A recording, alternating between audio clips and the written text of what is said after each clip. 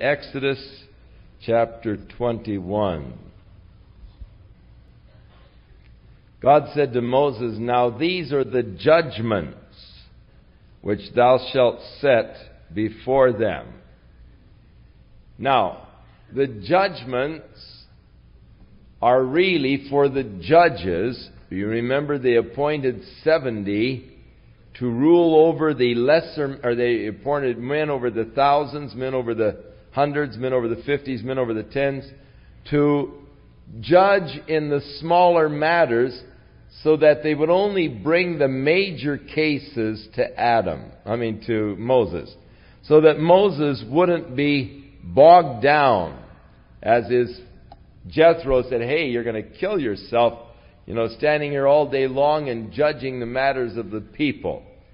So these are the judgments for the guidelines for the judges who are judging in these matters that are brought before them these are the judgments, the guidelines for the judges.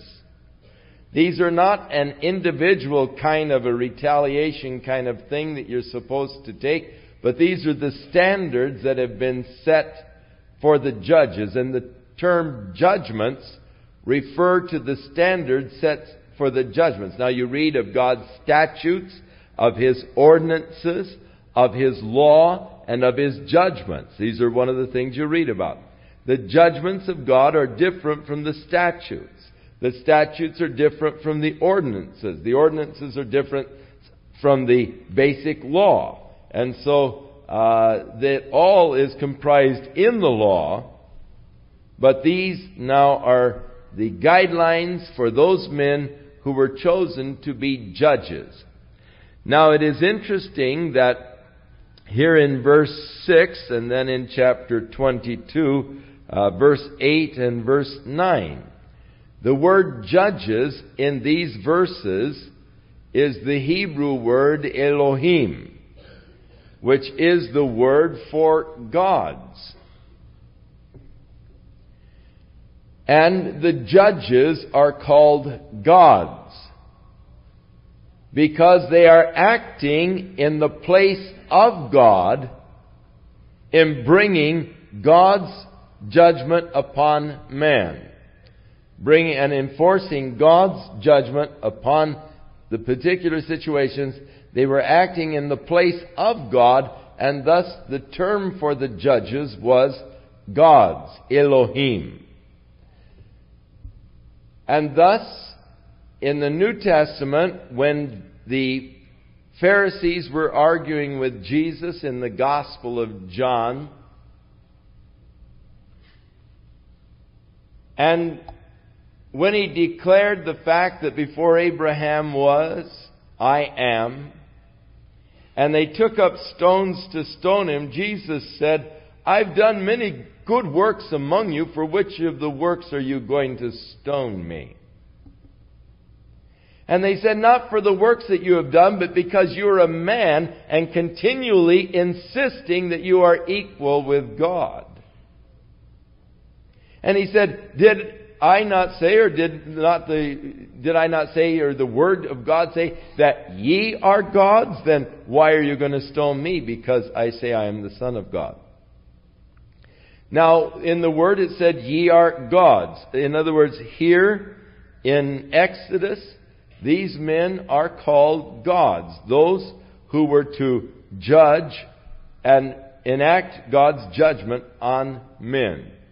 It doesn't mean in any wise that they were as the eternal God, the creator of heaven and earth.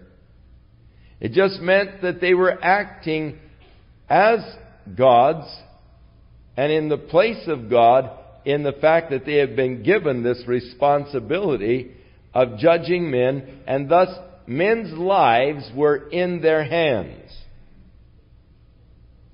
And thus acting for God, they were called Elohim, gods. The word Elohim refers in the Old Testament to many different gods. It is not a term used exclusively for the God who created the heaven and the earth. The Bible recognizes that man can have many different gods that are not true gods. That is, they are not the true God. They are God as far as they are the ruling master passion of a person's life. David said, The gods of the heathen are vain, Elohim. Recognizing that heathen had gods, but they weren't true gods. And God challenged, if you be gods, if you be Elohim, then prove it by telling us something that is going to happen before it ever happens. And thus, the term Elohim refers to that which is the master guiding principle or passion of a person's life. Now, I went into that to give you just a background to the scripture that Jesus referred to in the Gospel of John because the Mormons, because of that one reference of Christ to this scripture, ye are gods, have built the whole doctrine of man's progression into God. And that if you are a faithful Mormon, and your marriage has been sealed in the Mormon temple and you've gone through the rites, and you wear your underwear and, and the whole thing, what that has to do with making you a God, I don't know, but you can be one. And you will be gods. That's their teaching. And you and your wife, who has been sealed to you in marriage, will be able to go to a planet. And you will be able to start your own little world on that planet. And other Mormons and good people, Christians and all, who weren't faithful, true Mormons all the way, who didn't quite make it to the God stature, will be your angels and will serve you in your own uh, system that you inaugurate, and you will be God over that planet, and you will watch over that planet and develop and so forth the whole uh, life form and style and all from your offspring. Uh, there in some planet in the universe. Now, that is the acknowledged, recognized goal of the Mormon. Now, Brigham Young did something that has upset a lot of Mormons in that he has carried this particular concept back one step instead of forward one step.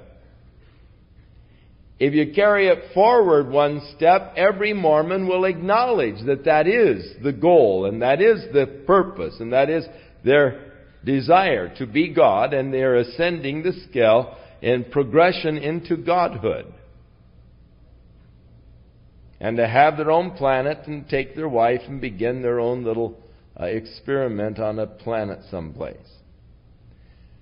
Brigham Young carried it back one step.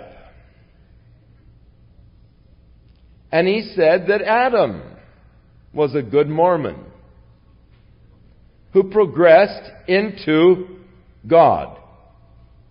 And he brought to the earth one of his celestial wives, Eve. And they began to have their children, and that they began to populate the earth, and that Adam is our God and the only God with whom we have to do. Now, Mormons get very upset about that and they say, oh, you've taken what he said out of context. But I challenge you, read the whole context of that sermon and you'll find that it isn't taken out of context. It is actually consistent with the Mormon doctrine. But it takes it back one step instead of forward one step. And why not? If you and your wife can be a god on a planet someplace and start the whole thing off, why wasn't Adam uh, a man somewhere in another planet within the universe and became faithful and true and all and ascended is into the godhood and of course brought one of his celestial wives Eve and started the whole thing. Now, that whole system of thought and idea taken from one little verse in the New Testament where Jesus said, Did I not say in the law, ye are gods? And from that one little verse, this whole system of thought and doctrine that you're going to be God, providing you are a faithful Mormon and so forth, has, has, has come out of that one verse of Scripture. Rather than researching and finding out what that Scripture was referring to. Not at all a progression into the Godhood as such. Is not what that is teaching. In fact,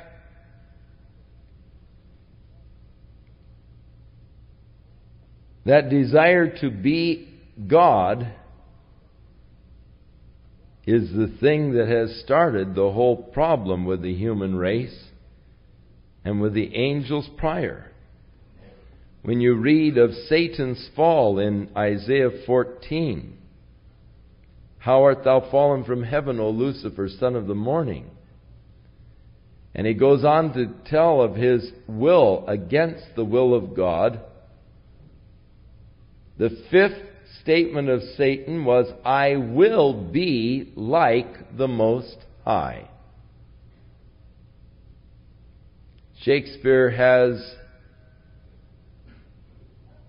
someone saying, O Cromwell, flee ambition, for by this sin did the angels fall.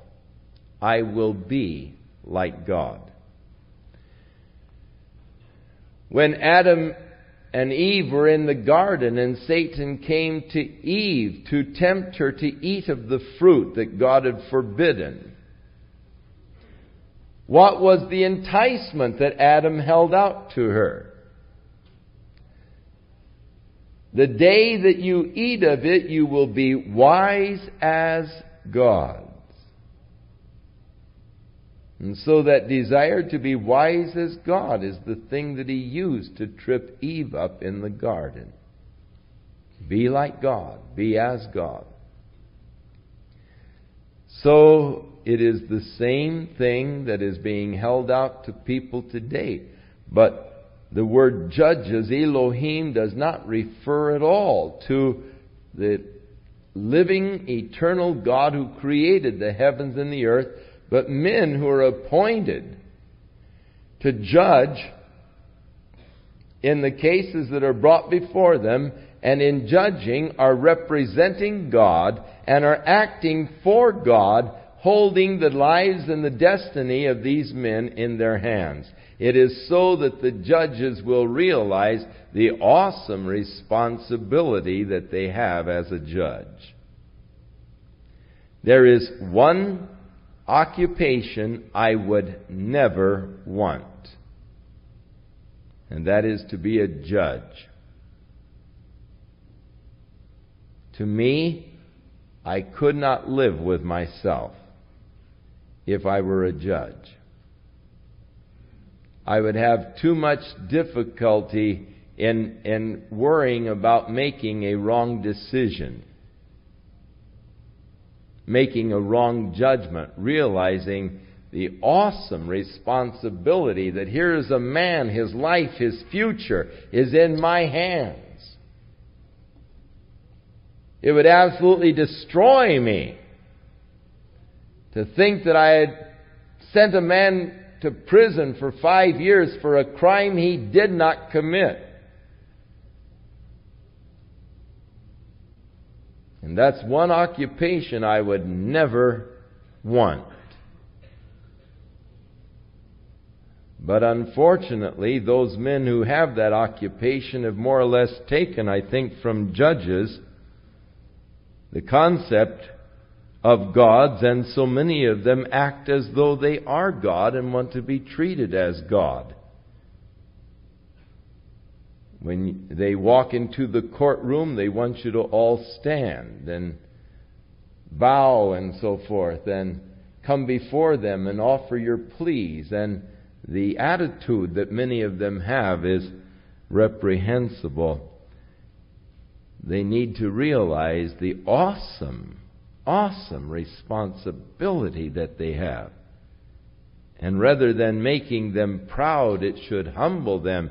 And they should come in, I feel, in a very humble way to sit in judgment, realizing the awesome responsibility that is theirs. Now, this whole chapter 21 deals with the judges and deals with their judgments, as it does on into chapter 22. So this is addressed basically to those men who were to occupy the position of a judge in Israel, and they were to judge over the various matters. And so he uh, starts laying out certain basic laws that will govern, first of all, uh, the position of a servant. If you buy a Hebrew servant, six years he shall serve, and in the seventh he shall go out free for nothing. If he came in by himself, he shall go out by himself. If he were married, then his wife shall go out with him. So here we find again the six in one pattern. Six days shalt thou labor, do thy work. The seventh day is the day of rest. If you buy a Hebrew slave, six years shall he serve. If you were a Hebrew sold into slavery, six years you would have to serve, but the seventh year you go free. And I believe that this six and one pattern is significant, not only in a day, but God established it in a year also. He established the months. The seventh month of the Jewish calendar was to be a sacred month, and the Day of Atonement and so forth came in the seventh month along with the feast. It was a sacred month in their calendar. And then the six years. They were to sow their land. The seventh year, the land was to just grow of itself. They were just to eat of that which came from the land. They weren't to sow it. They were to give the land a rest in the seventh year. They failed to do this, and God got after them later for their failure to do that. And inasmuch as for 490 years that they were in the land, they didn't give the land the rest, God said, You owe the land 70 years of rest. So you can stay in Babylon for 70 years, and the land will get its Sabbaths that you robbed it of the whole time you were living there. And so God gave the land its rest, its Sabbath, as He shut them up in Babylonian captivity for 490 years. But I believe that the pattern will also carry out that for six and this is in a thousand year cycles, for six millennia, the earth will go on in the bondage to Satan, sold out by Adam.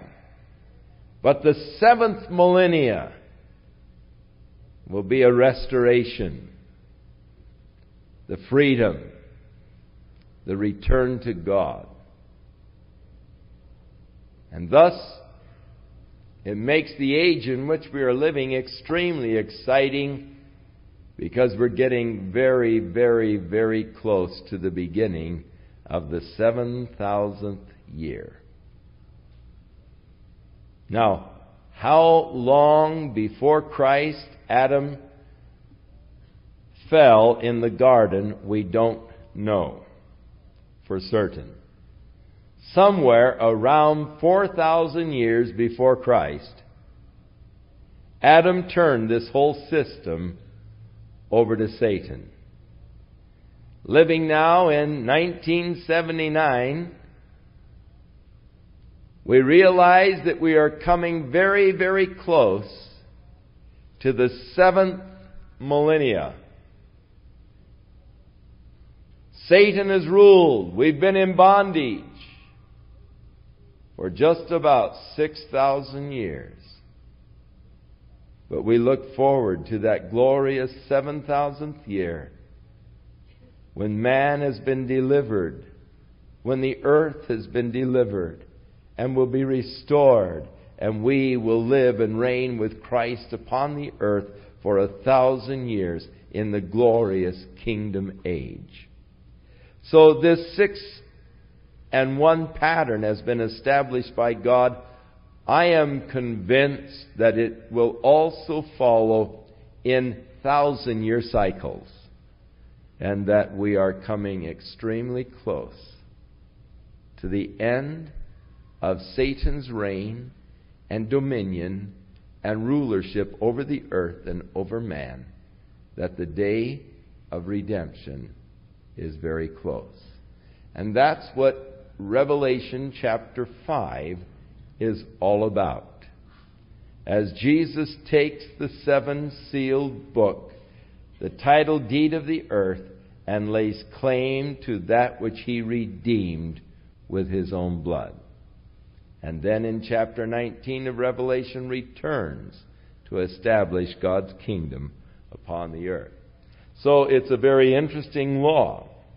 Now, if he came, if he was sold of a slave and he came in by himself, he will go out by himself. If he were married and his wife came with him, then his wife can go out with him. But if his master has given him a wife, and she has borne him sons or daughters, the wife and her children shall be her masters, and he shall go out by himself.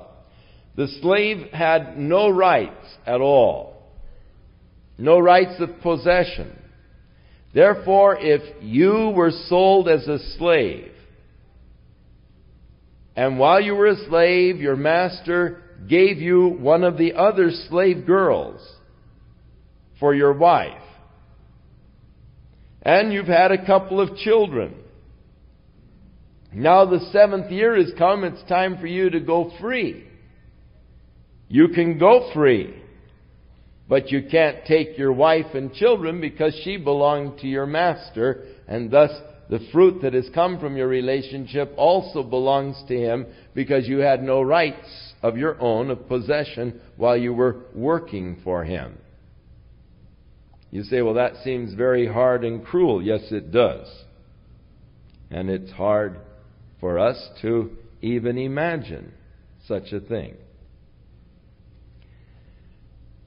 But if the servant shall plainly say, I love my master, my wife, and my children, I will not go out free. Then his master shall bring him unto the gods, the Elohim, translated judges, correctly so. He shall also bring him to the door, or to the doorpost, and his master shall bore his ear through with an awl, and he shall serve him forever. So you, you've had your wife and your children say, hey, I love this. I love my master. He's treating me good. I love my wife. I love my children. I don't want to go free. I'll, I'll, I, I want to serve him. Then he brings you before the judges, and there your master takes an awl, and he runs the awl through the lobe of your ear, and he pins you to a post with that awl. And then you would put a gold ring as a rule in the pierced ear, which was the sign of a slave by choice. It, indicated that you, you had, it, it, it was a slave by choice. You had willingly submitted to this life of slavery. Now, there is an interesting prophecy concerning Jesus Christ that declares, My ear hath he pierced. So Christ, in a figurative sense, had a pierced ear, inasmuch as he by choice submitted to the will of the Father. Who being in the form of God and thought it not robbery to be equal with God, yet emptied himself, became of no reputation, humbled himself, and became as a servant, the pierced ear servant. It was service by willingness. He willingly submitted himself to the Father's will to serve. And thus the prophecy, Mine ear hath he pierced, referring to Jesus Christ and his serving of God. Now, in a figurative sense, I have a pierced ear. In that I am glad to take the title of Chuck, a bondslave of Jesus Christ.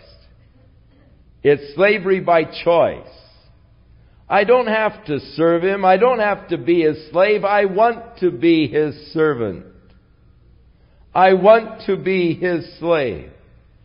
I really want everything that I possess and am to belong to him.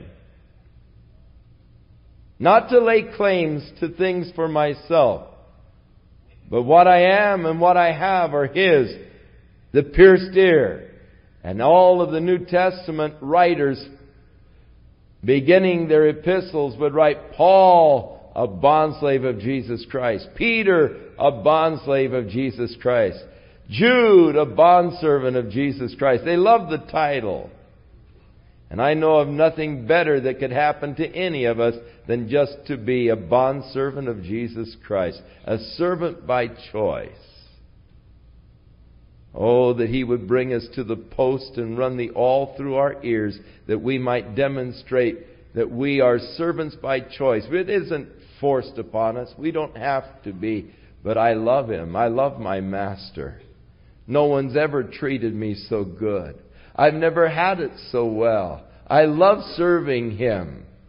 And thus, it is the choice of life and the choice of being a bond slave was irrevocable. That was it. Once your ear was pierced, that was a choice of life, an irrevocable choice. And so the law of the servant.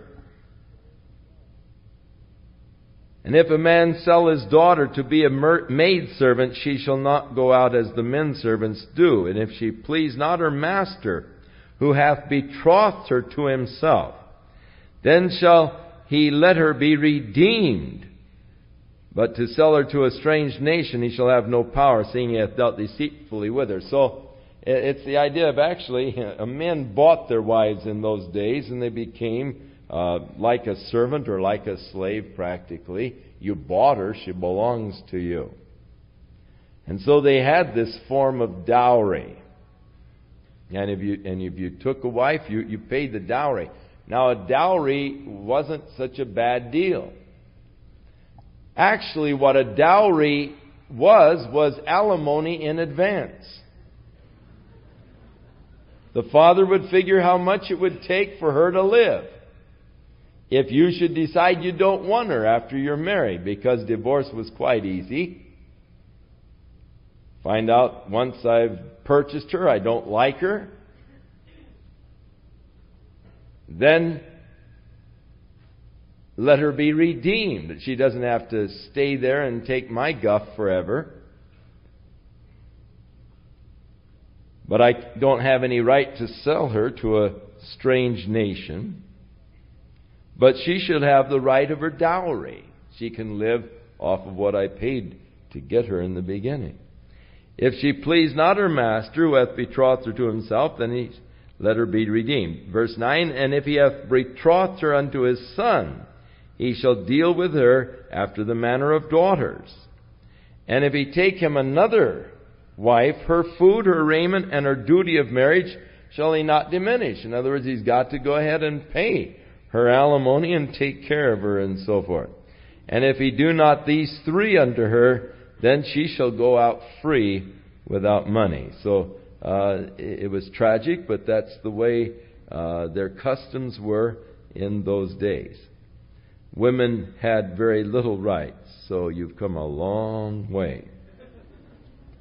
Why have you come a long way? because of Jesus Christ. Hey, women still have it tough in a lot of cultures. If you don't believe it, you just go to some of these other areas. New Guinea, Guatemala, even, close by. Look at the lot of the Bedouin women. Man, they have it tough. You women can be thankful for what the Lord has done in liberating you. It is actually because of Jesus Christ and His declaring that we are all of us children of God, and in Christ there is neither male nor female. The distinctions are broken down. It is Christ that has put us all on an equal footing and an equal plane and has taken away any concept or idea of a superior sex. That God favors men over women or vice versa. It doesn't exist. We are all one in Christ Jesus. And it is the Christian ethic that has done so much to give the woman the rightful place of equality with a man, but such does not exist in cultures where the Christian gospel has not had a strong influence. Be glad, women, you're not a Muslim. If you don't believe that, just read what Khomeini is doing to the women there in Iran, and, and you'll find out that being a Muslim woman wouldn't be so easy. Many of you wouldn't last long under his reign.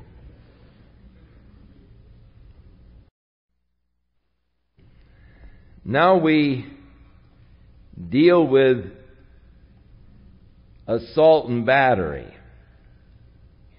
and murder, manslaughter, first and second degree in manslaughter. Now he that smites a man so that he dies shall surely be put to death. And if a man lie not in wait, but God delivers him into his hand, then I will appoint thee a place whither ye shall flee. So if you, first of all, are guilty of just plain murder, capital punishment. But if it was accidental, or just uh, not a premeditated thing, then God was going to appoint a place where you could flee and be safe. There were called cities of refuge that they established. And you could flee to a city of refuge, and there you would be safe from the avenger. Now, if you would kill my brother, then I would be obligated to kill you because you killed my brother. So if it were an accident, and yet I'm mad at you because you were foolish in doing it, and I, I'm wanting to get retribution and kill you, you could flee to a city of refuge and, and, and there you would be safe. As long as you stayed in the city of refuge. But if you came out and I caught you, then I could kill you.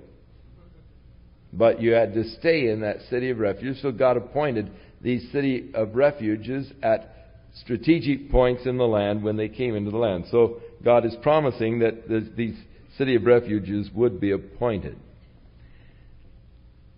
Now, if a man come presumptuously upon his neighbor, this would be premeditated. Your, your purpose of coming is to slay him with guile, deceitfulness.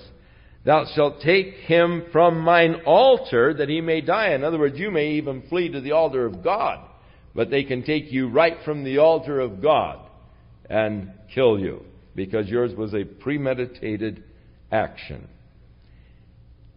And now, several things for which capital punishment was to be given. He that smites his father or his mother shall surely be put to death. The law said, Honor thy father and thy mother. He that stealeth a man and sells him, or kidnappers, or if he be found in his hand, he shall surely be put to death. He that curses his father or mother shall surely be put to death. they didn't have nearly the problem with juvenile delinquency in those days that we have today. And if men are fighting together and one smites another with a stone or with his fist and he did not die, but he's laid up for a while, and he is able finally to get out of bed and walk on a crutch, he that smote him will be acquitted, only he shall pay for his loss of time until he is thoroughly healed.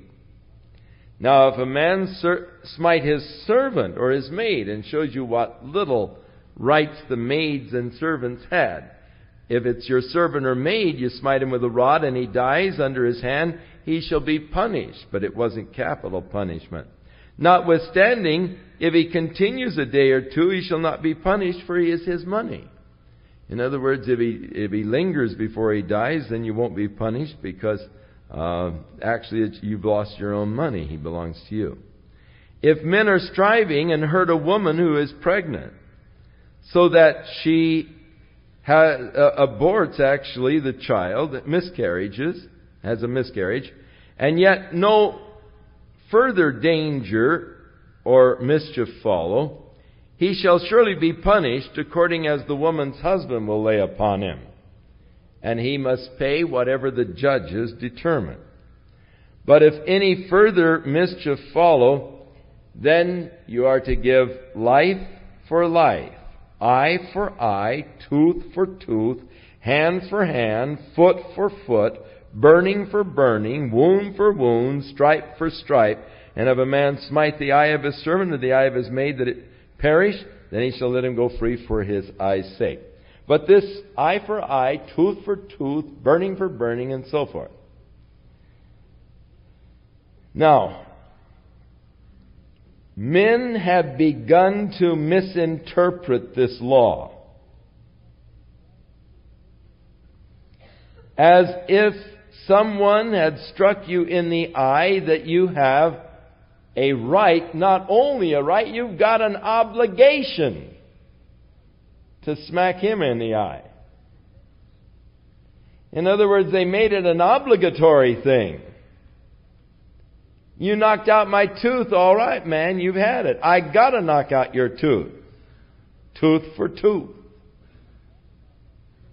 And Jesus said, Ye have heard that it hath been said. Now, really what the Lord is doing here is limiting.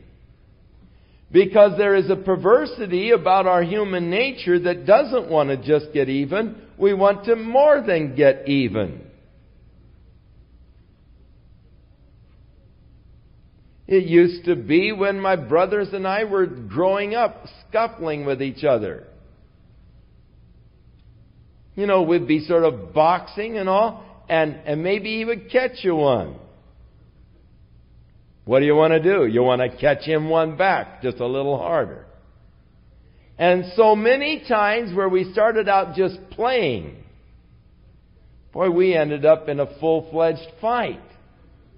Because you keep getting harder and harder and harder and wanting to get, you know, get back at him a little more. And, and you, you start out just sort of with a game and playing, but boy, you end up really just going at it. And that is human nature. So this was to put a limitation. An eye for an eye, not two eyes for an eye. A tooth for a tooth, not three tooth, three, three teeth for one tooth. Three.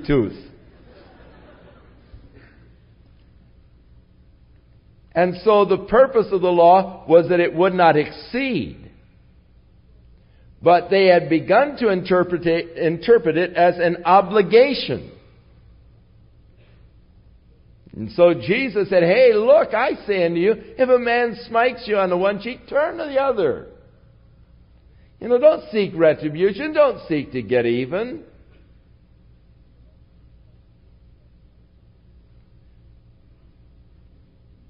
And so Christ gave a whole new concept to this.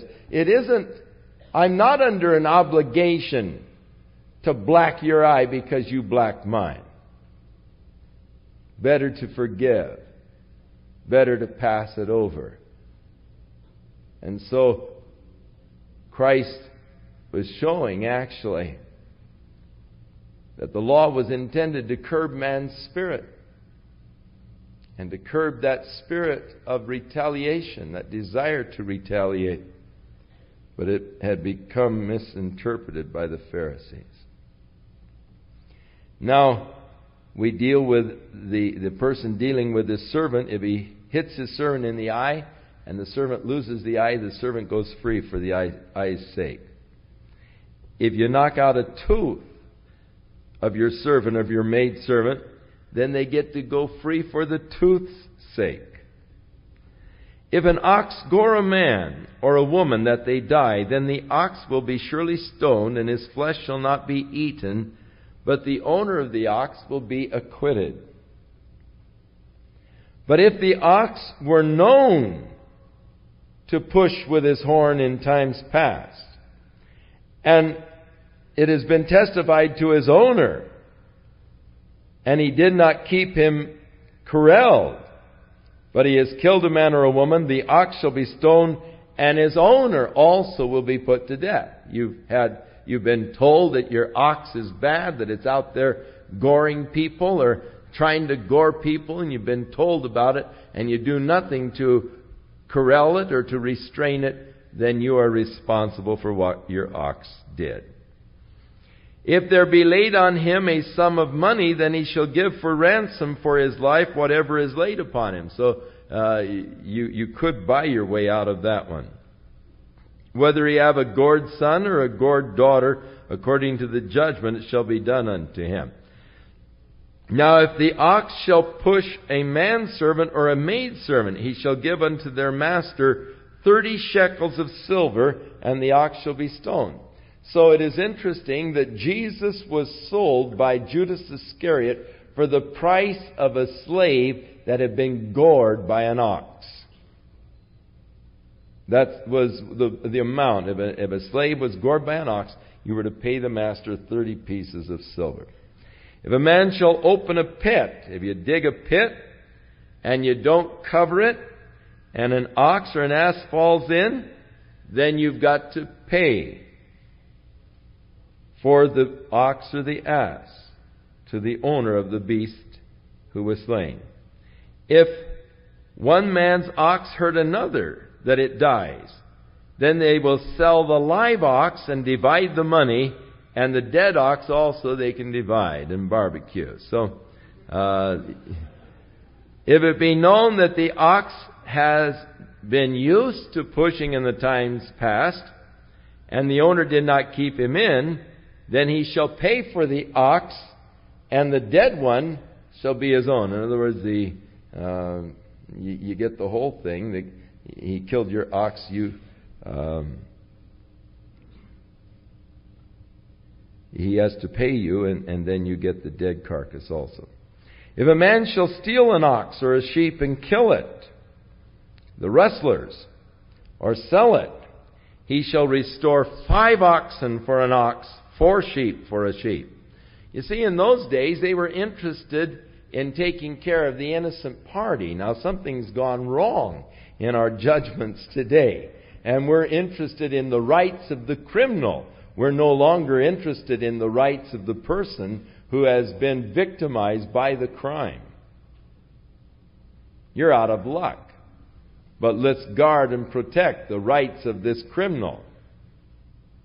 Oh, things are getting so bad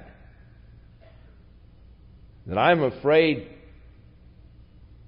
that vigilante groups and the KKK are going to arise. Something better happen. Watching on the news this past week in the Los Angeles area, A woman was walking along the beach, and two men started talking with her. Foolishly, she went to their apartment, or they forced her, I guess, into their van, according to the story, took her to their apartment, and there viciously abused her, raped her, broke her jaw, and the neighbors heard the woman screaming and called the police. And the police responded to the call. When they came to the door, the guy wouldn't let them in, so they broke the door down, found the woman bound and gagged in a closet, beaten up horribly, broken jaw and all. But now, this man is out on parole for raping women. He's been charged seven times and is actually out on bond pending charges of rape. But now this whole case is about to be thrown out because the officers really had no right to break his door down to find out why the woman was screaming and crying inside. They violated his rights. And so all of the evidence, the woman beaten up, her story and everything is no good because they didn't say, please may I come in and look around inside. Well, they said that, but he said no. Oh, I'll tell you, talk about rights. What about the woman's rights?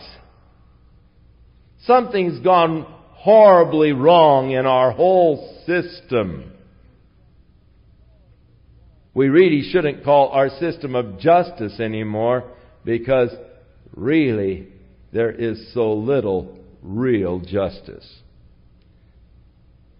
You say, how come you're so much? Well, we're in what is really just and what God is talking about justice and not the perversion that we find created by I better not say it, we're on the radio.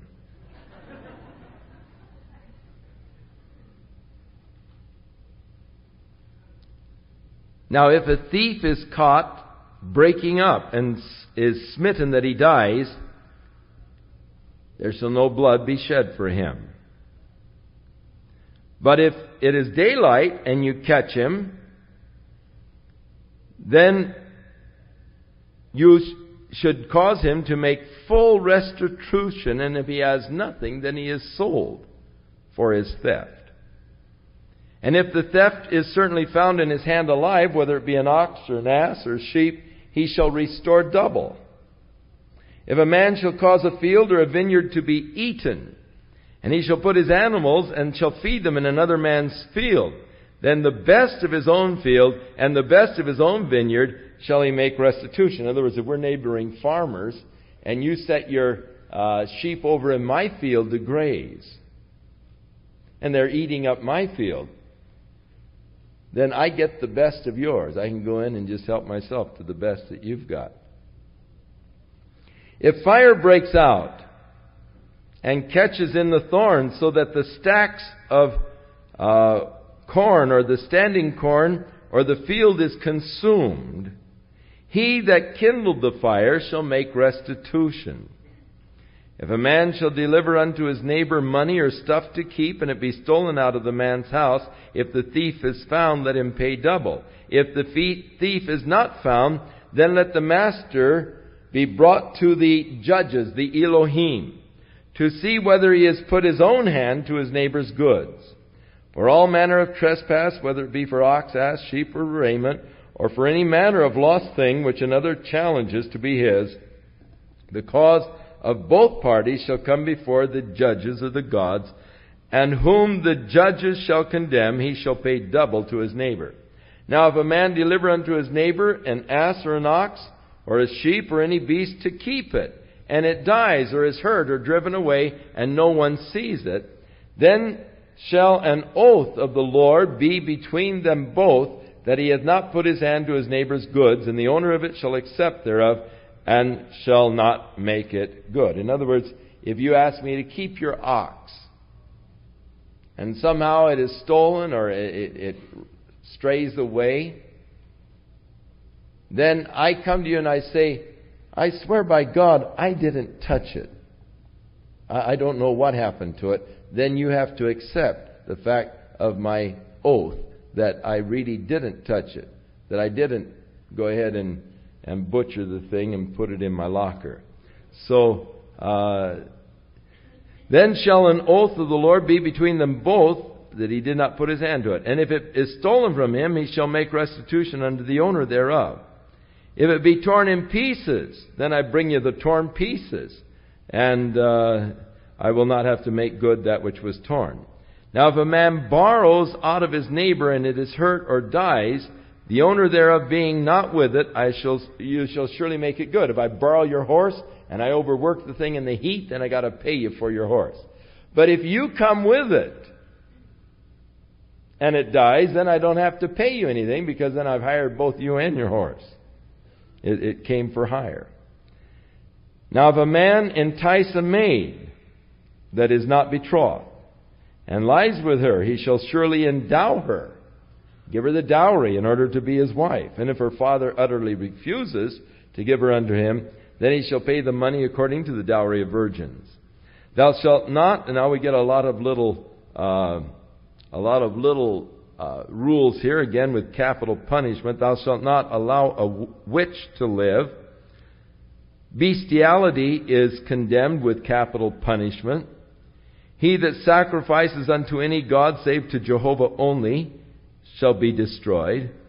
Thou shalt neither vex a stranger nor oppress him, for ye were strangers in the land of Egypt. Ye shall not afflict any widow or fatherless child. If thou afflict them in any wise and they cry unto me, I will surely hear their cry. Now, the next couple of cases here, God tells how that He will stand up in defense of the weak and of the poor. So be careful. Don't take advantage or seek to take advantage of persons that are already disadvantaged. The, the tragic thing to me is that so many of the charlatans prey upon people who are already in sad condition. They're already sort of broke. And, and they're the, you know, they have ads in the paper, you know, earn money in your own home. And they get you signed up, you know, on a uh, where you give all kinds of contracts, and all you have to do is buy this $500 machine and so forth, and you can start making all these things, and you'll have all these contracts, you make so much money, and what you do is you end up 500 bucks further in the hole than you were, and you're already in trouble. Looking for a way to get out. And, and there are people that prey on the, on the people that are already disadvantaged. I got a letter this week, and perhaps if you're on his mailing list, you got one too. And the letter said, Dear Charles, I've been thinking about you lately. And while I was here on my knees before God, I was holding your name up before the Lord in prayer. Somehow I feel there might be something wrong. Is there any problem? Charles, write me and tell me about it. And please also enclose a gift. Because I'm facing one of the greatest crises of my whole life. And he went on for four pages telling me of the great crisis and the sacrifices that he's going to have to make in order to do the great things that God has called him to do.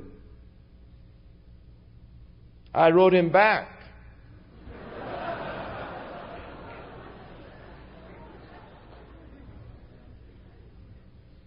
And I wrote, Dear, and I won't tell you his name. Because you probably got a letter too, and you thought he's just writing to you personally. Isn't that neat? I wish I could come and visit you in your home and sit down and, and explain to you personally what my problems are. I wrote back and I said, it might be a good idea that you would start teaching the Bible on television, but maybe you ought to read it first.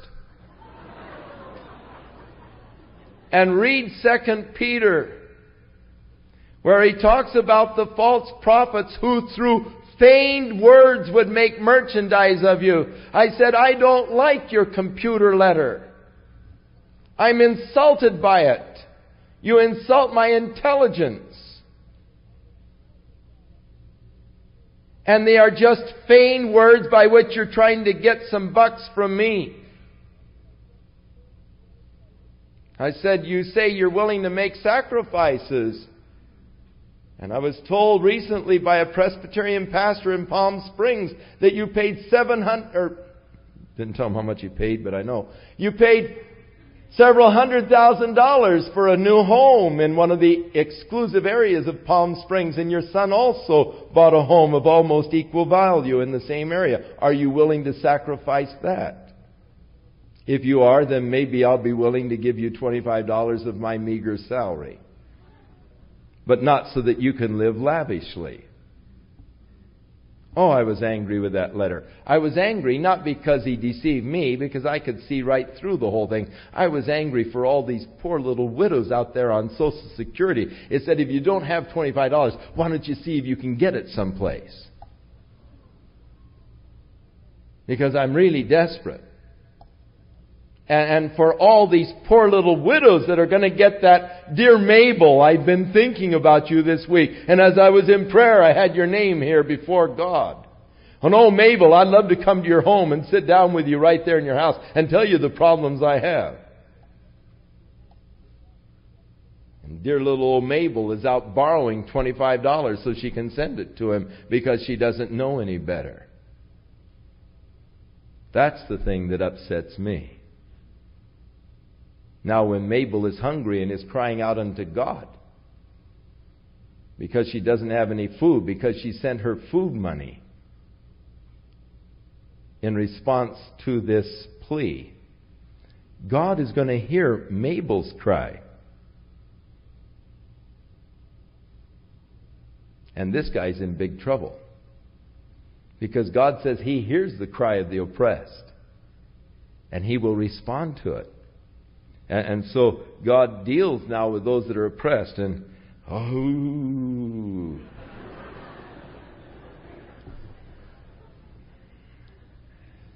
this kind of stuff, oh, it upsets me. I get taken off their mailing list in a hurry because I usually respond to them. I can't stand it.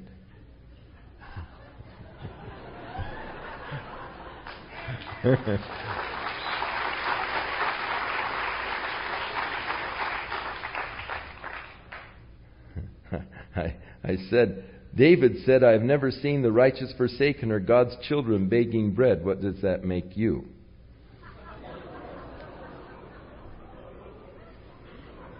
They take me off their mailing list in a hurry.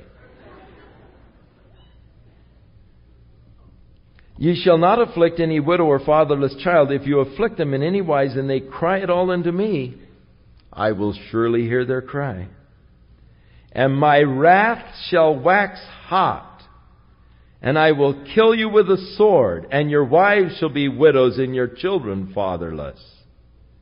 And if you lend money to any of my people that is poor by thee, thou shalt not be to him as a usurer. Neither shalt thou lay upon him usury. These people that are going around and, and taking away people's houses, saying, well, we'll loan you money. You know, sign all of these contracts and you find that you've signed your house away and they sell it out from underneath of you. Boy, are these people going to have to answer before God. That's horrible, the things that are done.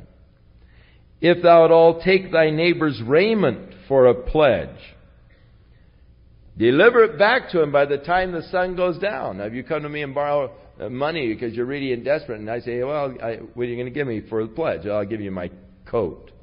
Before the sun goes down, I, am going to give you that coat back because you see, in those days they didn't have blankets. They used their clothes. They just wrapped themselves up in their coat, and that was their covering. For it is his covering only, it is his raiment for his skin, whereby when he's trying to sleep, and if it comes to pass he's cold, and he cries unto me, I'm going to hear. For God declares, I am gracious. The Lord is very gracious towards the poor, towards the oppressed. His ear is open to their cry. Man, if you're oppressing them, you're the one guilty of oppressing them, and they're crying unto the Lord because your oppression, look out. You're in trampling on dangerous grounds. I love God for His desire and concern and care for the poor. I love God because He is gracious. And that He does take care of those who are oppressed and cast down Oh, how I appreciate God's graciousness. Thou shalt not revile the judges, nor curse the ruler of thy people. I'm glad he didn't say you're going to be put to death if you do. But thou shalt not, nonetheless. Actually, what does the New Testament teach us? Pray for those who are in authority over us. And, and that's really our obligation and responsibility. Pray. I, I wouldn't want to be a judge, but neither would I want to be the president. In fact, I wouldn't want to be in the legislature. I wouldn't want to have to answer for, you know, the stuff that goes on anywhere in government.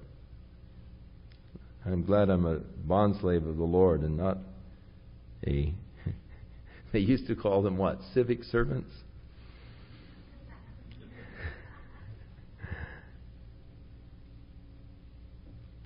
Boy, how we've changed. Now thou shalt not delay to offer the first of thy ripe fruits and of thy liquors. The firstborn of thy sons shalt thou give to me. You're not to delay. You're not to put off paying your dues to God. The tithes, the first fruits. You're not to, you're not to hold back or delay on that. Well, if we have enough, then we'll give it to God. But actually, you're not to delay to offer your first fruit and the firstborn. Now, now God, remember the firstborn in Egypt were killed. So from that time on, God claimed the firstborn. So your firstborn son belonged to God. Now, if you wanted to keep him, you had to buy him from God. And you could redeem him. You could keep him, but you'd have to buy him from God. The firstborn son belongs to God. And that was true of your animals. The firstborn animal always belonged to God. If, if your cow got old enough to begin to have calves, the first calf belonged to God.